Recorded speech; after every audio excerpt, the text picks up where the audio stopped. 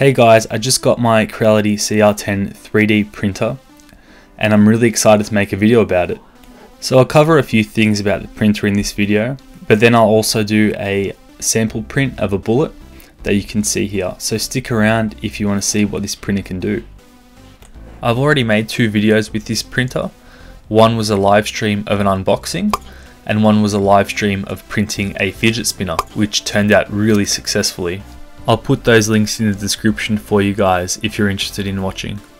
Now there are lots of reviews and things on YouTube about this printer, so I don't really want to make this video into a review, but I want to show you the product, I want to show you what it looks like, hopefully answer some of your questions, just to supply some more information and maybe get some information out about 3D printing itself.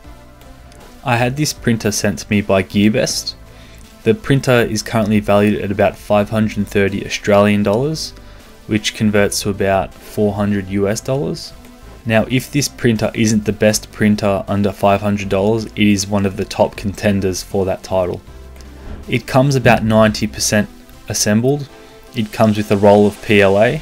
The printer also comes with all the tools you need to assemble it, extra tools, spare parts, instructions, a USB, and an SD card. You can also download free software to use with it, for example Cura, the 3D slicing software, and Fusion 360 for CAD modeling if you're a hobbyist or a student. As you just saw, you can print from a standard micro SD card or straight from your computer. Other nice features about this machine are the LCD screen and keypad for easy offline use, a huge build volume that's 300mm by 300 by 400 which is absolutely huge, it also supports lots of different uh, filaments, such as ABS, PLA, TPU, and many more.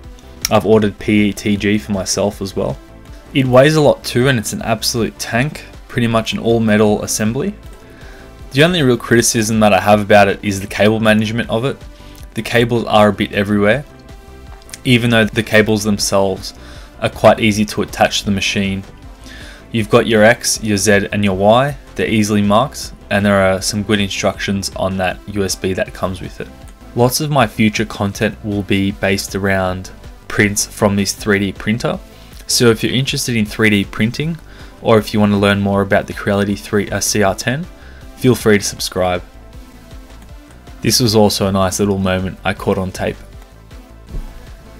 To turn the thing on, behind the power supply unit slash control box there's a little switch that you flick on and it welcomes you with the Creality 3D logo, followed by this LCD screen. It's quite an intuitive interface. To select something, you click the button, and to change the selection, you turn the wheel. Lots of the settings in here you don't really have to use at all. I just I can go straight into printing, which is really cool. Uh, typically straight from my SD card. But you can also adjust the temperature if you want to of the hot end or the temperature of the bed.